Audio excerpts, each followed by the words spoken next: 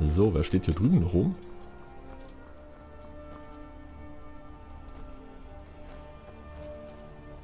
Was ist mit euch los? Willkommen. Oh, Falls ich euch nicht weiterhelfen kann, dann bestimmt einer meiner anderen Karawanen. ah, was habt ihr zu verkaufen? Werft einen Blick darauf. Oh, eine nette Stimme hat der Herr. Waffen. Gesegneter Eisenkriegshammer. Untote bis zu drei. Bis zu Stufe 3 fliehen 30 Sekunden. Okay. Bekleidung, Blaurobe, Eisenhelm. Eisenpanzerhandschuhe. Boah, beidhändige Angriffe verursachen 15% höheren Schaden. Goldene Halskette, also falls es wirklich jetzt irgendwann zu einfach wird, dass wir die Gegner einfach ummetzeln, dann schraube ich den Schwierigkeitsgrad nach oben. Dass es eine gute Mischung irgendwann mal ist. So, wir können doch bestimmt auch ein bisschen was verkaufen. Guck mal hier, das Eisenschwert kommt erstmal weg. Hat er Geld dabei? Ja. So. Ja, alles was wir nicht brauchen. Erstmal weg damit.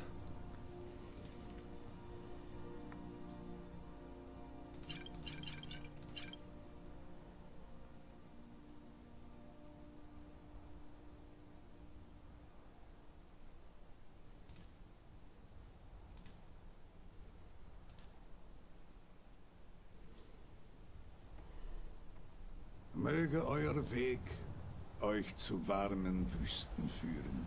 Danke. Hat Waren. Geld So, dann gehen wir mal nach Weißlauf rein.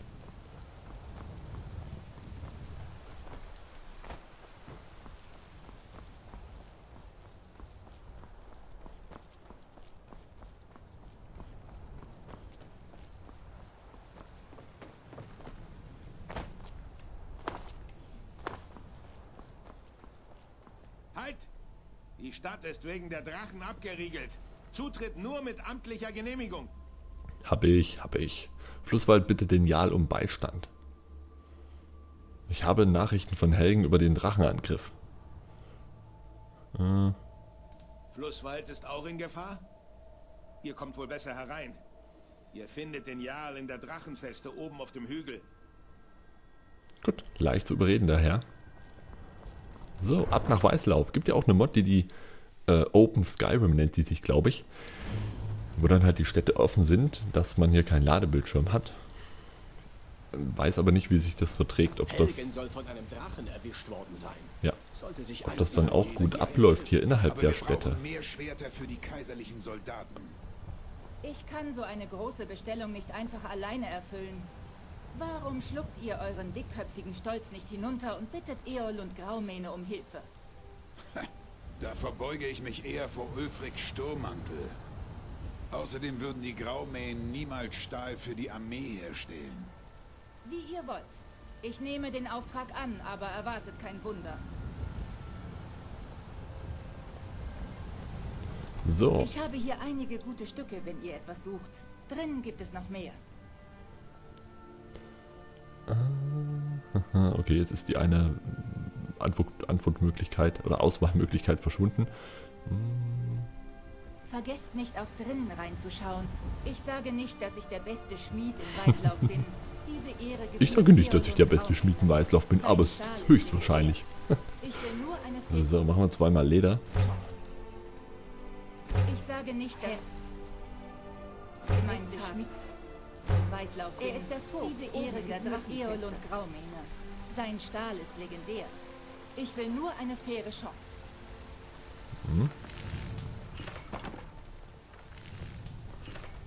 So, dann gehen wir mal in die Kriegsjungfer rein. Hm, hallo. Wir haben kleine und große Waffen, Streitkolben, Dolche, alles auf Lager.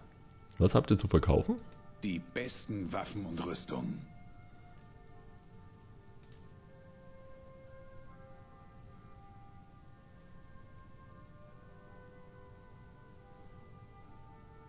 Ah, ein Jagdbogen. Spitzhacke. Boah, Stahlkriegshammer. Stahl-Zweihänder der Himmelschmiede. Auch geil. wie gesagt, das werden wir uns wahrscheinlich alles selber zusammenbauen. Eventuell hier mal, wenn was fehlt, ein paar Bahnen kaufen, aber das ist auch relativ teuer. Jetzt gerade für den Anfang haben wir eh nichts weiter dabei. Es ist schön, mit euch Geschäfte zu machen. Mhm. Vielleicht können wir ja noch ein bisschen mal schmieden. Huch. Ja, bitte?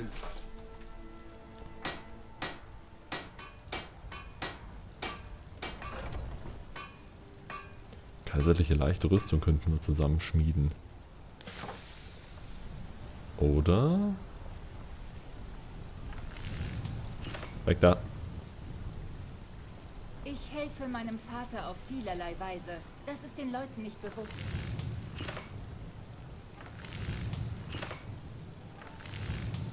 Ich So, einmal den Eisenhelm bitte. Ich glaube, den können wir dann auch direkt anlegen. Drei Eisenbahnen. Ach, scheiße. Gut, mehr können wir dann schon gar nicht mehr machen. Gut, diese beschlagene Rüstung könnten wir noch machen. Bisschen was Lederartiges. Schmuck. Hm, dafür reicht's nicht. Sonstiges? Ja, okay, Scharniere, Eisenbeschläge und so ein. Zeug. Ja, okay.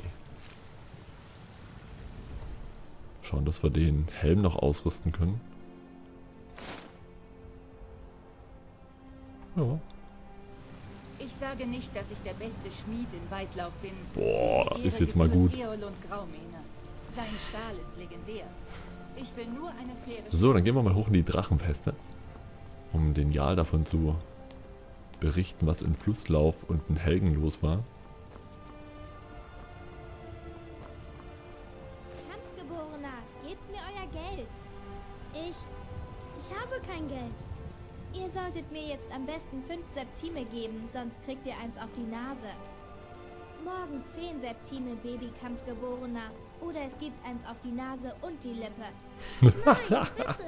Ich hab wirklich Jawohl. Geld, Zehn werden Septime? richtige Kinder großgezogen, keine Weicheier. Was ist das denn? Ist das das Gefängnis hier?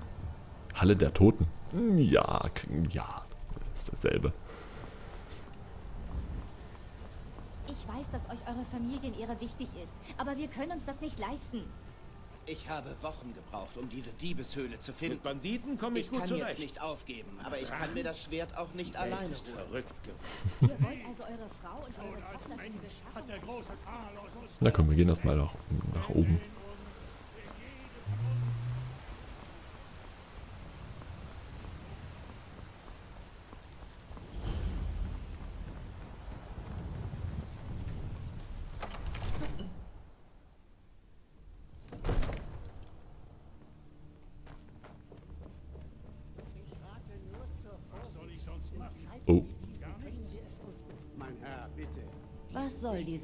Diese Unterbrechung? Jarl Balgroof empfängt keine Besucher. ich habe Nachrichten von Helgen über den Drachenangriff. Ah, Alvor hat mich geschickt. Flusswald ist in Gefahr. Als Huskal befasse ich mich mit allen Gefahren, die dem Jarl oder seinen Leuten drohen. Ihr habt also meine Aufmerksamkeit. Nun erzählt. Mir wurde aufgetragen, die Nachricht dem Jarl direkt zu überbringen. Was ihr dem Jarl sagen wollt, könnt ihr auch mir sagen. Nein. Ich denke gerade nach. Ich will mir anhören, was er zu sagen hat. Vielen Dank, Herr Jarl.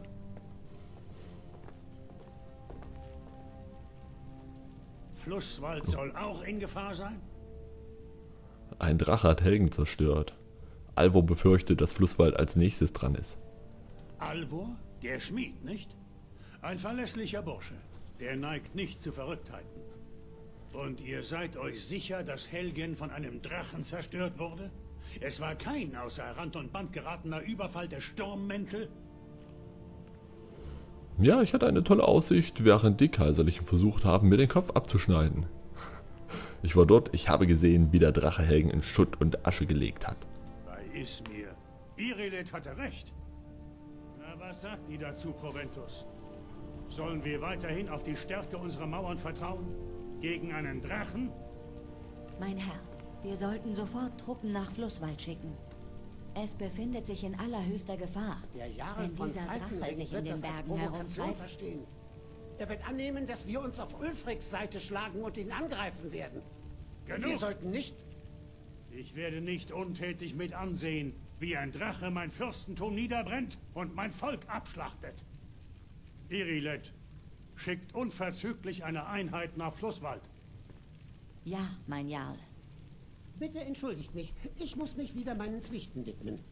Das wäre wohl das Beste. Gut gemacht. Ihr seid zu mir gekommen, auf eigene Faust. Ihr habt Weißlauf einen Dienst erwiesen. Und das werde ich euch nicht vergessen. Hier, bitte nehmt dies als kleines Zeichen meiner Anerkennung. Ich hätte da noch etwas für euch. Vermutlich eine geeignete Aufgabe für jemanden, der über solche Fähigkeiten verfügt wie ihr. Kommt, begeben wir uns zu Farengar, meinem Hofzauberer. Er beschäftigt sich mit einer Frage, die mit diesen Drachen zu tun hat. Und mit Drachengerüchten. Okay, wir haben gerade eine beschlagene kaiserliche Rüstung erhalten. Sprechen wir mal mit Farengar. Besucht ihr die Drachenfeste, um über die andauernden Feindseligkeiten zu diskutieren, wie die anderen großen Krieger? Der Jarl sagt, ihr würdet Hilfe benötigen. Hm? Was? Wie? Ihr meint, ihr könnt mir helfen? Das glaube ich nun wirklich nicht. Schon gut, ich werde auf Jarl Bal Balgruf warten. Ihr findet den Jarl in der großen Halle, wo er vermutlich auf seinem Thron sitzt. Hier im Labor des Zauberers ist er jedenfalls nicht. Farengar, ich glaube, ich hätte da jemanden, der euch bei eurem Drachenprojekt helfen kann. Nur zu, weit ihn in alle Einzelheiten ein. Der Jarl glaubt also, ihr könntet mir nützlich sein? Aber natürlich, er muss an meine Drachenforschung gedacht haben. Ja, ich könnte jemanden brauchen, der etwas für mich besorgt. Und mit besorgen meine ich, dass ihr in einer gefährlichen Ruine nach einer alten Steintafel suchen werdet, die vielleicht gar nicht dort ist. In Ordnung, wohin soll ich gehen und was soll ich holen? Ihr kommt gleich zur Sache, was? Keine Fragen nach dem Wie oder dem Was. Das gefällt mir. Sollen sich eure Auftraggeber mit den Einzelheiten plagen, was? Ich äh, habe von einer Steintafel erfahren, die im Ölsturz Hügelgrab liegen soll. Einem Drachenstein mit einer Karte verschiedener Drachengrabstätten. Die Tafel liegt vermutlich in der Hauptkammer des Ölsturz-Hügelgrabes. Geht dorthin, findet die Tafel und bringt sie mir. Ganz einfach. Okay. Das hat momentan Vorrang. Alles, was wir verwenden können, um diesen oder diese Drachen zu bekämpfen. Wir brauchen es so schnell wie möglich, bevor es zu spät ist. Natürlich, Jarl Balgruf. Ihr habt mir einen fähigen Assistenten. Okay, super. Dann ab in das Ölsturzhügelgrab. Hatten wir schon gesehen, als wir auf dem Weg nach Flusswald waren.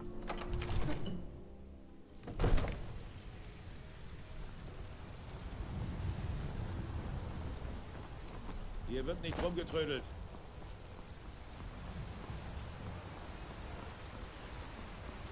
Wollt ihr womöglich auf die Jagd gehen? Dann geht aber nicht zum Bruch. Nicht! Was ist denn? Könnt ihr den Anblick einer starken Nordfrau nicht ertragen?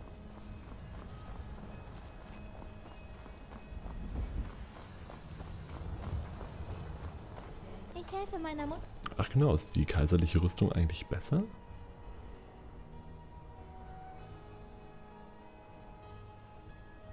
Nö. Sieht bloß ein bisschen besser aus. dabei Obst und Gemüse zu verkaufen. Meistens macht Ja. Seid ihr oft im Wolkenblitze? Irrelet. Nur wir sind Natürlich, seid ihr es nicht. kämpfen, richtig? Ich kann niemanden mehr. Huch. Der Drache ist. Es schon so spät, ja? Nö. Macht gerade Mittagspause. Aufgabe besteht darin, die Augen 13.30 Uhr. Na gut, dann gehen wir noch zum Ölsturzhügelgrab.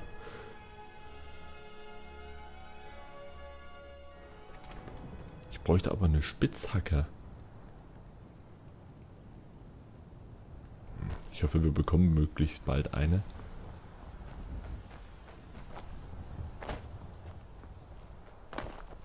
Ups. So.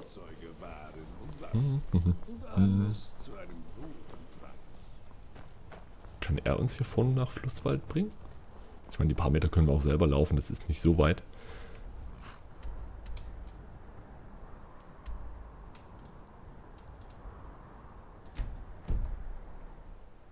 So, das finden wir schon. Erstmal wieder zurück Richtung Flusswald. Und dann müssten wir, glaube ich, da hoch, wo ich dann beim ersten Mal rumgedreht bin und doch den anderen Weg gegangen bin.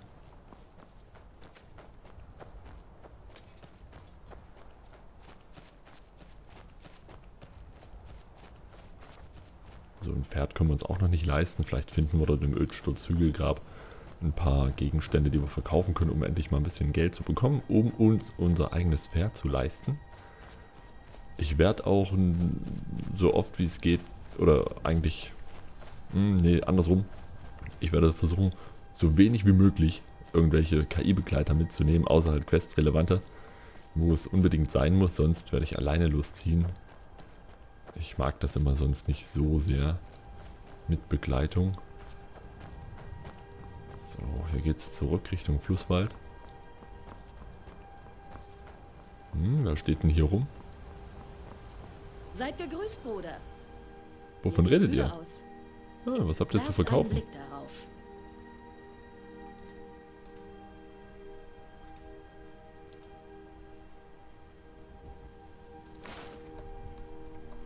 Also gut. Leb wohl.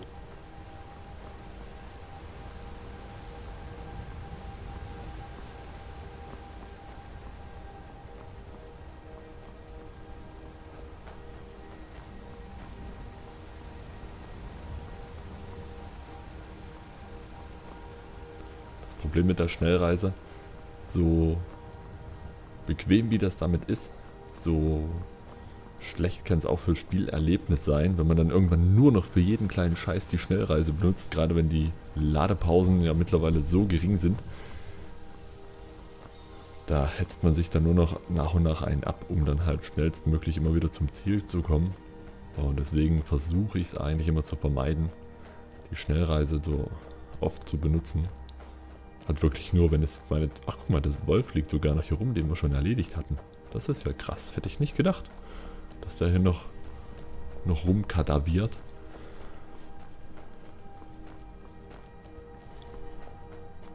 Naja, okay. Für F5 ist noch schnell speichern. Kurz mal getestet. So, ich gehe jetzt einfach mal hier weiter. Ich bin der Meinung, hier müsste es lang gehen.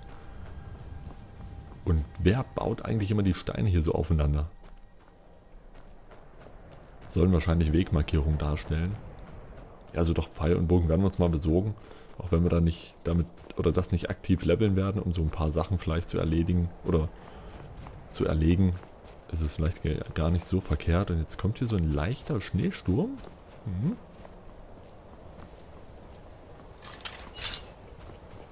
Zwei, drei. Was hat er sich dabei nur? Ihr hättet nie hergefallen.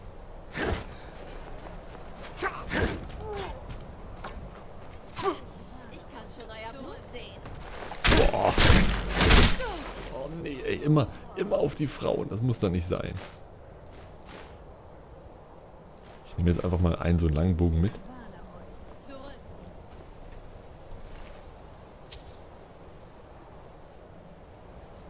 Die Fellarmschienen sind ein bisschen besser als die, die wir anhaben. Geldbeutel, 22 Gold, super.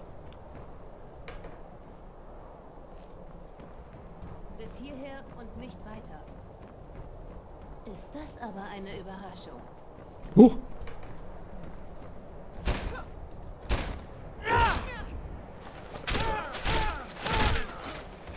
Gott sei Dank fliegen die Arme nicht weg. Das wäre so mies. Gibt's wahrscheinlich, ne? Eine Mod. Eisenpanzerhandschuhe, ja geil.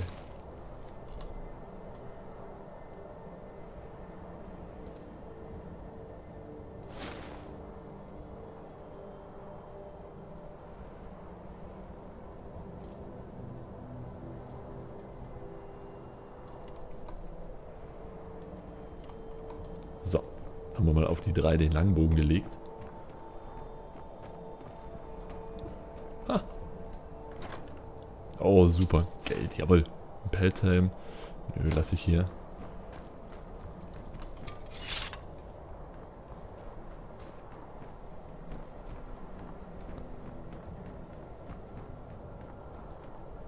Oh, da ist Eisenerz. Oder irgendwas anderes. Oder Korundum oder sowas. Wie gesagt, leider keine Spitzhacke. Das ärgert mich ein bisschen, dass wir die noch nicht haben. Aber ich habe vorhin auch nicht geguckt, als wir in Weißlauf waren beim Schmied oder in Flusswald beim Schmied, ob die eine hatten. Ich bin der Meinung, direkt in Flusswald hätten wir eine abgreifen können. Können wir auf dem Rückweg, wenn wir wieder nach unten müssen, einfach mal mitnehmen. So, da geht's weiter.